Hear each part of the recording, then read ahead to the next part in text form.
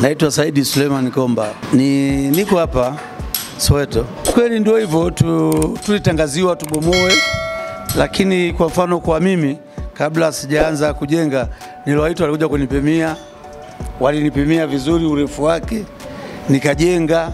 Baada ya kujenga, wakaja tena watu wengine, wakaja na vipimo vyao, wakaniambia nimezidi, nibomoe. Nikabomoa, wakaniambia hapa sawa, jenga. Nikajenga sehemu niliyobomoa, wakaja wengine tena, wakaniambia bati juu limezidi, maji ya- mvua yatadondokea kwenye miundombinu ya kwao wao. Wakanionyesha, nikalikata bati tayari, nikawa nimemaliza.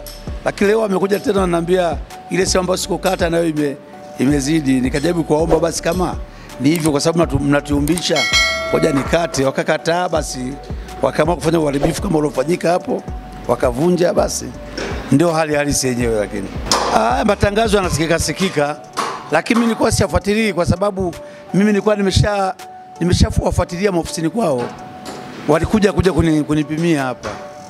Kwa hiyo mimi nilikuwa sina haja ya kuyafuatilia matangazo kwa sababu niliona moja kwa moja yanihusu. Mara ya kwanza walinivunjisha ukuta huko hapa, kuna ukuta huu hapa eh, labda nikuonyeshe mwandishi wa habari eh. Unaona hii, hi kitu? Hii kitu mimi nilikuwa nimejenga yote. Eh. Ili- Ilijengwa mpaka hapa. Ilivyojengwa mpaka hapa, akaniambia hili sehemu pana kona hapa kutoka barabarani, wakaambia hii sehemu imezidi. Kwa hiyo wao walivyokuja wakabomoa, wakaambia nibomoe, mimi nikabomoa, wakanielekeza mpaka hapa kama unavyoona, wakaambia barabara imekwenda hivi, kwa hiyo hapa bomoa mpaka hapa, nikabomoa. Nilipobomoa nikaendelea na maisha. Baadaye wakaja wengine wakanambia, hapa nimebomoa vizuri, ila bati limezidi. Kwa hiyo wao wakanipimia bati eneo hili hapa, wakanambia mimi nilikate hii eneo nimelikata tayari, lakini leo tena wamekuja tena watu wengine wanakuja kubomoa kama unavyoona huko, wananiambia tena ili eneo limezidi hili hapo eh?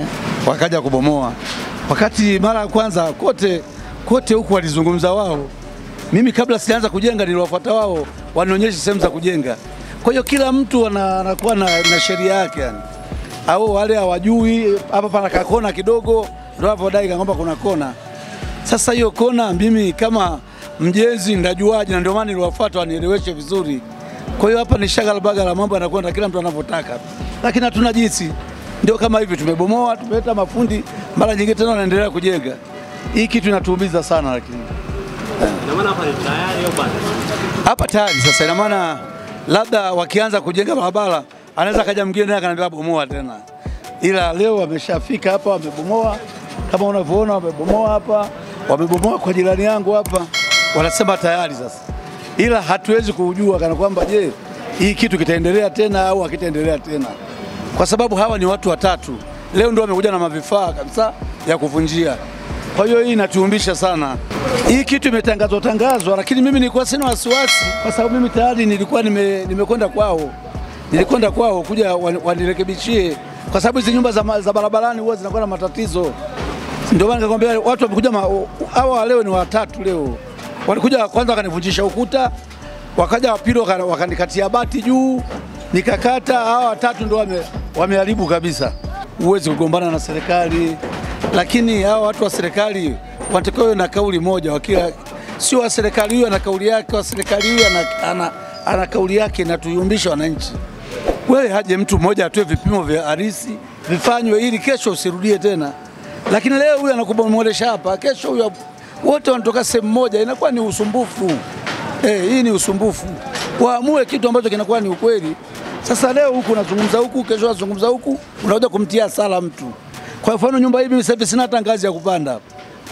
Yaani tokea mwanzo wangekuwa wale watu wa kwanza waliokuja wangenielekeza vizuri, na maana mimi ningerudisha nyuma zaidi, lakini hapa kanaambia hakuna matatizo. Kwa hiyo sasa hesabu yao inaishia humu. Kwa hiyo na maana moja kwa moja hata sehemu ya, ya kupanda kuingia ndani itakuwa hakuna.